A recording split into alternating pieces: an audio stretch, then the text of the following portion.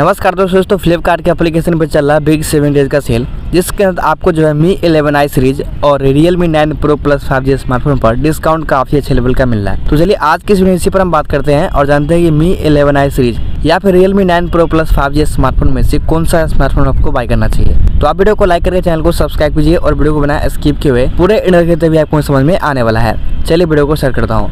दोस्तों फ्लिपकार्ट के एप्लीकेशन पर चल रहा है बिग सेवन डेज़ का सेल ये सेल काफ़ी अच्छा है और इसके तहत कई सारे ऐसे स्मार्टफ़ोन है, जिस पर डिस्काउंट काफ़ी अच्छे लेवल का मिल रहा है। लेकिन अगर आपका बजट है अंडर ट्वेंटी के और इसमें चाहिए अगर आपको अच्छा खासा फ़ोन और फाइव भी होना चाहिए तो यहाँ पे दो फ़ोन है।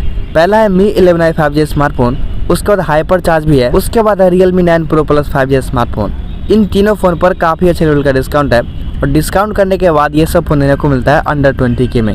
तो आज के इस वीडियो विषय पर हम बात करेंगे कि आपको इन तीनों फ़ोन में से कौन सा फ़ोन बाय करना चाहिए। देखिए, यहाँ पर जो हाइपर चार्ज है, इसमें दिया गया है वन ट्वेंटी वाट का चार्जर और डिस्काउंट करने के बाद ये फ़ोन देने को मिलता है ट्वेंटी वन के में। तो इस प्राइसिंग में ये फ़ोन काफ़ी अच्छा हो जाता है। बिकॉज़ जो भी स्पेसिफिकेशन है, वो काफ़ी अच्छे लेवल का है। जैसे कि डिस्प्ले है एमलेट और रिफ्रेश रेट और टच सैम्पलेट वगैरह भी दिया गया है और देने को मिलता है 108 ज़ीरो का कैमरा सेटअप और अदर जो भी स्पेसिफिकेशन है Mi eleven i hyper charge का, वो काफ़ी अच्छे लेवल का है। और ये फ़ोन डिस्काउंट करने के बाद देने को मिलता है ट्वेंटी वन के में। अगर हम बात करें तो Mi eleven i five G smartphone है ये देने को मिलता है उन्नीस हज़ार रूपए में, और इसमें भी सिमिलर स्पेसिफिकेशन है, और देने को मिलता है पाँच हज़ार का बैटरी जो कि आता है sixty seven watt charger support के साथ। यहाँ पे जो Mi eleven i five G smartphone है, ये देने को मिलता है उन्नीस हज़ार रूपए में, जबकि Realme nine pro plus five G smartphone है, ये देने को मिलता है अंडर ट्वेंटी के में मतलब बीस हज़ार रूपए में। देखिए, अगर हम बात करें Realme nine pro plus five G smartphone का तो Realme nine pro plus five G smartphone काफ़ी अच्छा इसलिए हो जाता है बिकॉज़ वहाँ पे दिया गया है इन डिस्प्ले फिंगरप्रिंट और डिस्प्ले का साइज़ भी थोड़ा सा छोटा है। और ये फ़ोन आता है out of the Android twelve पर। तो यही कुछ मेजर पॉइंट है जिसकी वजह से आपको जो है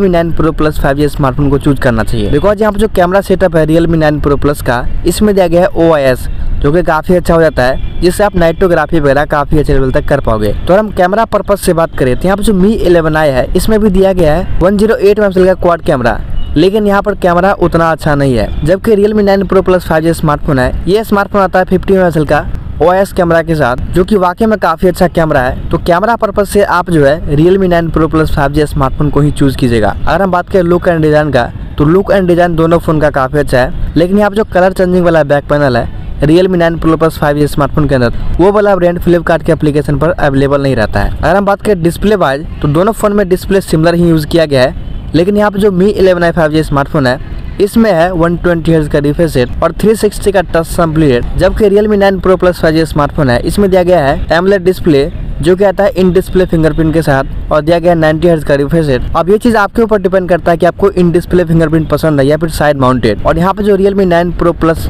smartphone है इसमें हार्ट मॉनिटरिंग सेंसर भी दिया गया है, जो कि काफ़ी अच्छा हो जाता है। और दोस्तों, अगर हम बात करें बैटरी और चार्जर पर्पज से तो दोनों फ़ोन इस मामले में बिल्कुल सिमिलर ही हैं। अब चलिए हम बात करते हैं कंक्लूजन का कि दोनों फ़ोन में से आपको कौन सा फ़ोन बाय करना चाहिए। तो देखिए, यहाँ पर जो मी इलेवन स्मार्टफ़ोन है, ये काफ़ी अच्छे लेवल का स्मार्टफ़ोन है। और डिस्काउंट करने के बाद इन्हें को मिलता है छः वन ट्वेंटी एट वाला ब्रांड उन्नीस हज़ार रुपये में, जबकि Realme nine pro plus five smartphone है, उसमें ऑल कलर अवेलेबल भी नहीं है। और छः वन ट्वेंटी एट का जो ब्रांड है वो देने को मिलता है ट्वेंटी थाउज़ेंड में। तो दोनों फ़ोन अपने पर्पज़ से काफ़ी सही है अगर आपको कैमरा ज़्यादा यूज़ करना है। तो आप Realme nine pro plus five smartphone को बाय कर सकते हो। हालाँकि दोनों फ़ोन में फाइव जी बैंड बिल्कुल सिमिलर ही है। तो अगर आपको कैमरा पर्पज से लेना है तो आप Realme nine pro plus five smartphone को बाय कर सकते हो। और आपको सस्ते में बाय करना है काफ़ी अच्छा खासा परफॉर्मेंस देने वाला तो आप जो है Mi eleven i five G smartphone को बाय कर सकते हो। बिकॉज़ यहाँ पर जो Mi eleven i five G smartphone है, ये दोनों को मिलेगा उन्नीस हज़ार रुपए में, क्योंकि दोनों फ़ोन में प्रोसेसर वगैरह बिल्कुल सिमिलर ही यूज़ किया गया है। तो आपने यहाँ पर अच्छे तरीके से जान लिया कि आपको कौन सा फ़ोन बाय करना चाहिए। तो बस आज के वीडियो में बताना था। उम्मीद करता हूँ बेहतरीन तरीके से समझ में आएगा